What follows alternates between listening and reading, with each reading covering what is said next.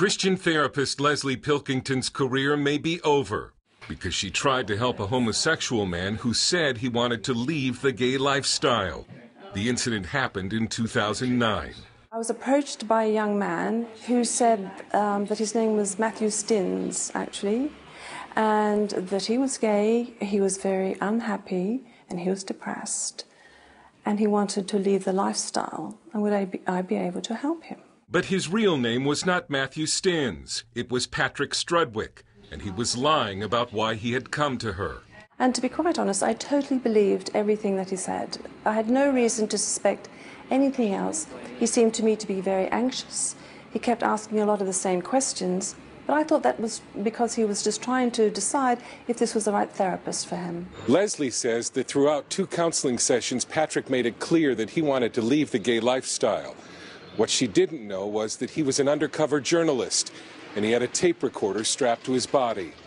Then the counseling sessions ended and Lesley's professional nightmare began. And he then telephoned me to say that, in fact, he was not at all who he said he was. His voice completely changed.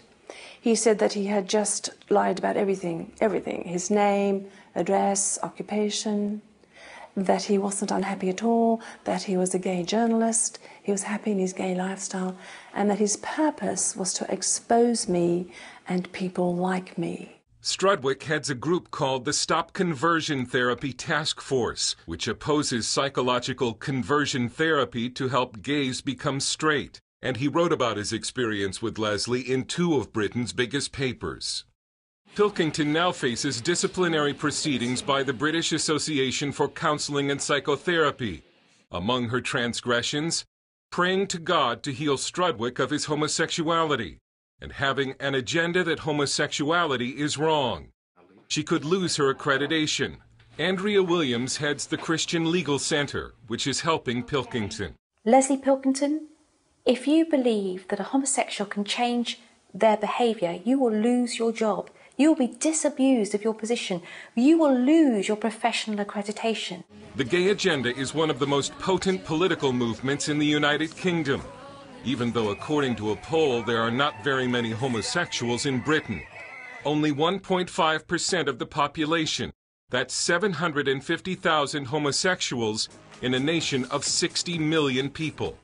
There's been um, an incredible shift um, in, in our nation, but in our media and particularly in our law, that treats the whole homosexual issue, the whole gay agenda, as something that absolutely equivalent to race. Lesley's attorney Paul Diamond says it's part of a broad agenda to overturn all traditional values on sexuality. They call it human rights, and it's they use these grand terms like tolerance and diversity. It's a hard-nosed political agenda of which an objective appears to be to remove Judeo Christian morality from the public realm. The British government has approved a plan to insert homosexual themes throughout school curricula, even math, to help children view homosexuality as normal. Meanwhile, the British High Court has ruled in a landmark case that Christian beliefs on sexual ethics may be harmful to children. It was argued the state has a duty to protect vulnerable children. The government in Britain argued this from being infected with such ideas, such ideas being Judeo Christian views on sexual morality. One of the riskier things to say in Britain today, especially if you're a therapist, is that homosexuals are not born that way, or that homosexuals can become heterosexual. After Strudwick's undercover investigation, the British Medical Association decided to brand gay conversion therapy as harmful. Strudwick told CBN News that gay people in Britain are, as they are everywhere, at risk of hate, intolerance, and persecution. He said there is no empirical evidence conversion therapy works, and there is plenty of evidence that conversion therapy does damage. He added that love needs no cure.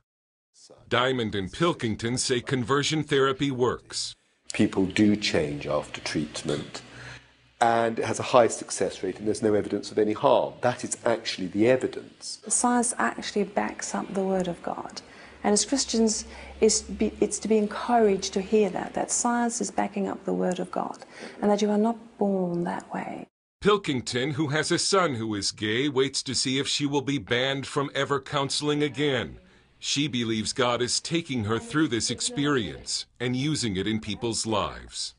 I also feel that the Lord's giving me an opportunity in that to try and speak to those who are in a homosexual lifestyle but who are unhappy.